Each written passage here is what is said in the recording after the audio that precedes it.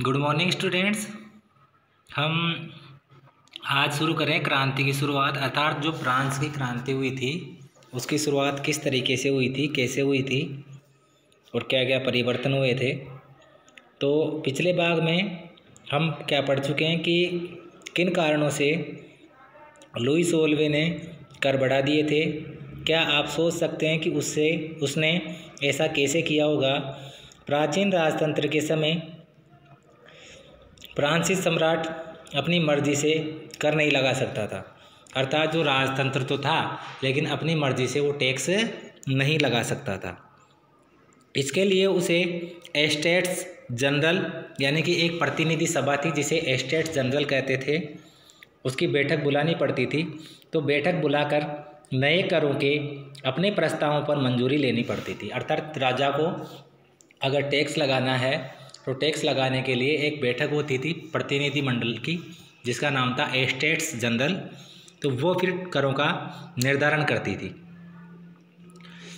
Estates general एक राजनीतिक संस्था थी, जिसमें तीनों स्टेट्स अपने अपने प्रतिनिधि भेजते थे। अर्थात तीनों जो स्टेट होते थे, प्राथमिक, द्वितीय और तृतीय, वो अपने अपने प्रतिनिधि भेजते थे।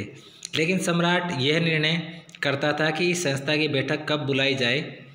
इसकी अंतिम बैठक सन 1614 में बुलाई गई थी। अर्थात जो क्रांति का समय चल रहा था, उसमें जो अंतिम बैठक थी, जो टैक्स से संबंधित थी, वो 1614 में बुलाई गई थी।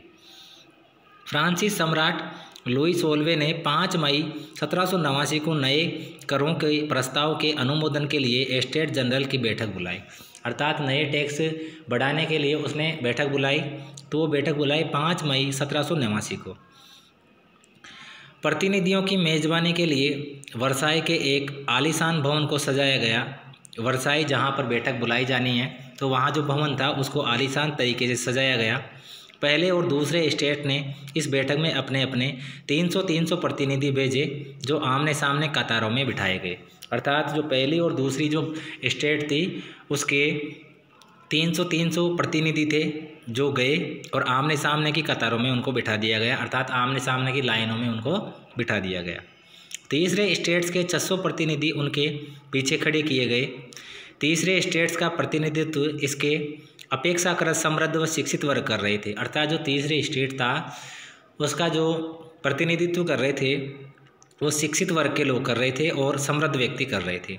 किसानों, औरतों एवं कारीगरों का सभा में प्रवेश वर्जित था। अर्थात, एक तो किसान, दूसरी औरतें और तीसरे कारीगर। इनको हिस्सा लेने का अधिकार नहीं था तो ये नहीं गए थे। फिर भी लगभग चालीस हज़ार पत्रों के माध्यम से उनकी शिकायतों एवं मांगों की सूची बनाई गई। लेकिन वो अपनी मांगे रख सकते थे तो पत्रों और समाचारों के माध्यम से उन्होंने अपनी मांगे रखी। चालीस हज़ार पत्रों को शामिल किया गया और एक सूची बनाई गई, जिसमें प्रतिनिधि अपने साथ लेकर आए थे। स्टेट जनरल के नियमों के अनुसार प्रत्येक वर्ग को एक मत देने का अधिकार था। इस बार भी लुई सोलवे इसी प्रथा का पालन करने के लिए दृढ़ प्रतिज्ञ था, परंतु तीसरे वर्ग के प्रतिनिधियों ने मांग रखी थी कि अब की बार पूरी सभा द्वारा मतदान कराया जाना चाहिए। जिसमें प्रत्येक सदस्य को एक मत देने का अधिकार होगा। ये एक लोकतांत्रिक सिद्धांत था यानी कि लोकतंत्र में यही तो होता है। लोकतंत्र में क्या होता है? अपना मत देने की स्वतंत्रता होती है तो इसमें भी ऐसा ही किया गया। मत देने की स्वतंत्रता रखी गई। जिसे मिसाल के तौर पर रूसो ने अपनी पुस्तक द सोशल कॉन्ट्रैक्ट में प्रस्तुत किया गया था। जब सम्राट ने इस प्रस्ताव को स्वीकार कर लिया या कर दिया तो तीसरे स्टेट के प्रतिनिधि विरोध जताते हुए सभा से बाहर चले गए। तीसरे स्टेट के प्रतिनिधि खुद को संपूर्ण फ्रांसीसी राष्ट्र का प्रवक्ता मानते थे। 20 जून को ये प्रतिनिधि वर्साई के इंडोर टेनिस कोर्ट में जमा हुए। सामने एक टेनिस कोर्ट था, उसमें ये जमा हो गए सारे के सारे। उन्होंने अपने आप को नेशनल असेंबली घोषित कर दिया। उन्होंने अपने आप को जो तीसरा स्टेट था, उसने क्या किया? अपने आप को नेशनल असेंबली घोषित कर दिया। और शपथ ली कि जब तक सम्राट की शक्तियों को कम करने वाला संविधान तैयार नहीं किया जाएगा, तब तक असेंबली भंग नहीं होगी। अर्थात जब तक कोई ऐसा मज़बूत संविधान नहीं बनाया जाएगा जिसमें सम्राट की शक्तियों को कम किया जाए, जब तक वो वहाँ से उठेंगे नहीं। उनका नेतृत्व मीराब्यो और आबे मिराबो और आबे सीए ने किया। ये दो व्यक्तियों के नाम हैं। मिराबो का जन्म कुलीन परिवार में हुआ था, लेकिन वह सामंती विशेषाधिकारों वाले समाज को ख़त्म करने की ज़रूरत से सहमत था। अर्थात वो था तो कुलीन वर्ग से, लेकिन वो कुलीन वर्ग की जो शक्तियाँ थी, उनको समाप्त करना चाहता था। उसने एक पत्रिका निकाली और वर्षाई में जुटी भीड़ के समक्ष जोरदार भाषण भी दिए। आबे आबे सी मूलतः पादरी था। और उसने तीसरा स्टेट क्या है? शीर्षक से एक अत्यंत प्रभावशाली प्रचार पुस्तिका पैम्पलेट लिखी। अब देखिए कुछ महत्वपूर्ण तिथियाँ जैसे सत्रह सौ चौहत्तर में क्या हुआ? लुइस ओल्वे ने फ्रांस का राजा बनता है। सरकारी खजाना खाली हो चुका है और प्राचीन राजतंत्र के समाज में असंतोष गहराता जा रहा है। सत्रह सौ नवासी में क्या हुआ? स्टेट जनरल का आह्वान यानी कि जो संविधान है उसको बनाने के लिए आह्वान किया गया। तृतीय स्टेट नेशनल असेंबली का गठन करता है और बास्तिल पर हमला, देहात में किसानों का विद्रोह। बास्तिल एक जगह है तो वहाँ पर भी हमला किया गया। एक महत्वपूर्ण केंद्र है जहाँ हमला किया गया और जो जो दूर दराज गाँव में रहते थे उन लोगों ने भी विरोध किया किसानों ने। सत्रह सौ इक्यानवे में सम्राट की शक्तियों पर अंकुश लगाने और सभी मनुष्यों को मूलभूत अधिकार प्रदान करने के लिए संविधान बनाया जाता है। यानी कि सत्रह सौ इक्यानवे में संविधान बनाया गया।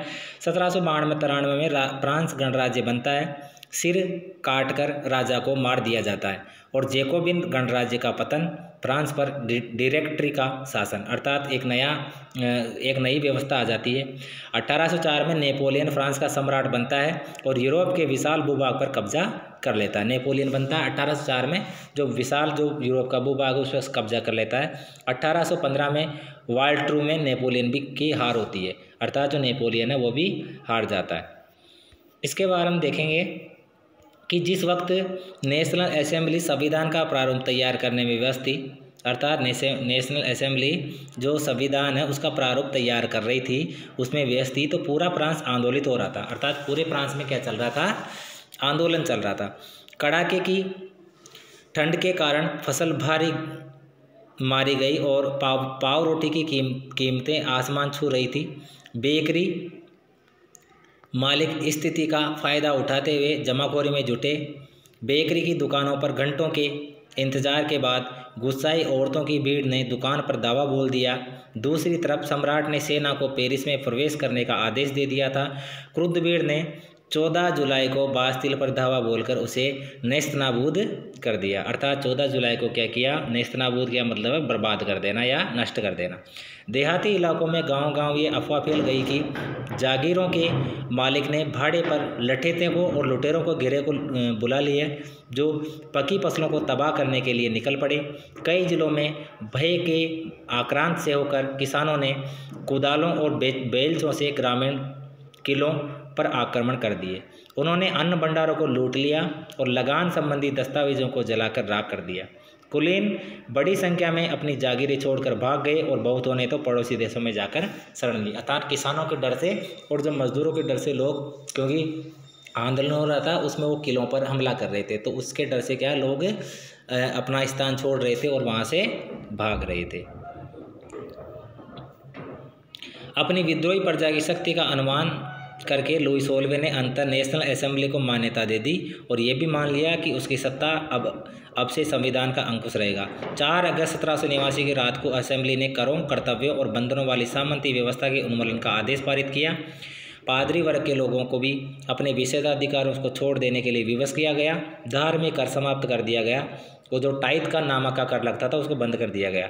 और चर्च के स्वामित्व वाली भूमि जब्त कर ली गई। इस प्रकार कम से कम 20 अरब लिब्रे की संपत्ति सरकार के हाथ में आ गई। ठीक है? अब बाकी काम कल पढ़ेंगे।